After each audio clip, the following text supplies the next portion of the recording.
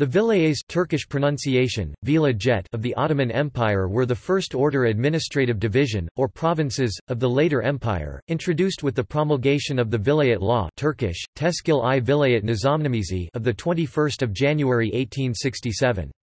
The reform was part of the ongoing administrative reforms that were being enacted throughout the empire, and enshrined in the Imperial Edict of 1856. The reform was at first implemented experimentally in the Danube Vilayet, specially formed in 1864 and headed by the leading reformist Midhat Pasha. The reform was gradually implemented, and not until 1884 was it applied to the entirety of the empire's provinces.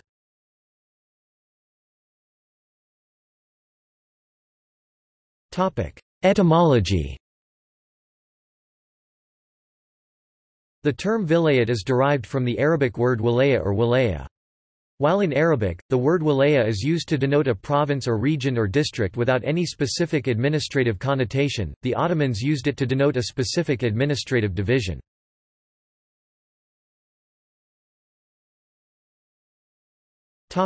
administrative division The Ottoman Empire had already begun to modernize its administration and regularize its provinces in the 1840s, but the Vilayet law extended this to the entire Ottoman territory, with a regularized hierarchy of administrative units. The Vilayet, headed by a vali, was subdivided into sub-provinces under a mutasarrif, further into districts kaza or leva under a kaimakam, and into communes nahi under a mudar. The vali was the representative of the sultan in the Vilayet and hence the supreme head of the administration. He was assisted by secretaries in charge of finances Defterdar, correspondence and archives dealings with foreigners, public works, agriculture and commerce, nominated by the respective ministers. Along with the Chief Justice Mufettis i Hukam i Sharia, these officials formed the Vilayet's Executive Council. In addition, there was an elected provincial council of four members, two Muslims and two non-Muslims. The governor of the Chi Sanjak, Merk Sanjak where the vilayet's capital was located, deputized for the vali in the latter's absence.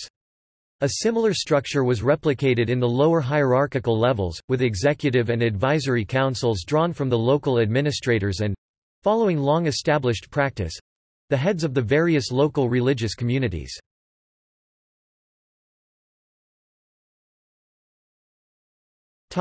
Map Vilayets of the Ottoman Empire circa 1900 Topic. List. Equals equals equals Vilayets, Sanjaks and autonomies, c. 1876 equals equals equals Vilayets, Sanjaks and autonomies, circa 1876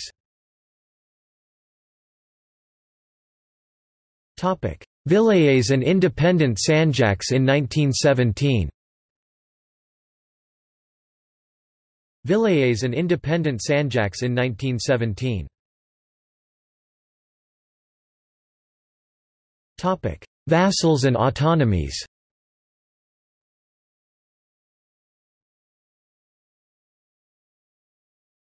Topic: Encyclopædia Britannica on the late Ottoman administration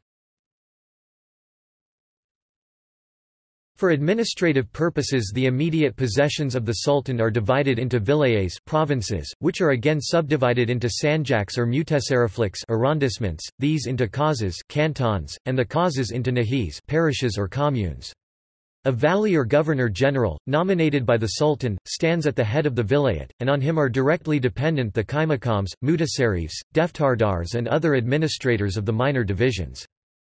All these officials unite in their own persons the judicial and executive functions, under the «law of the vilayets», which made its appearance in 1861, and purported, and was really intended by its framers, to confer on the provinces a large measure of self-government, in which both Mussulmans and non-Mussulmans should take part. It really, however, had the effect of centralizing the whole power of the country more absolutely than ever in the Sultan's hands, since the Valis were wholly in his undisputed power, while the ex officio official members of the local councils secured a perpetual Mussulman majority.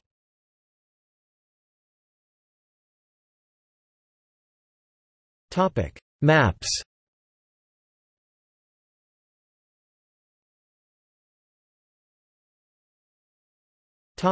See also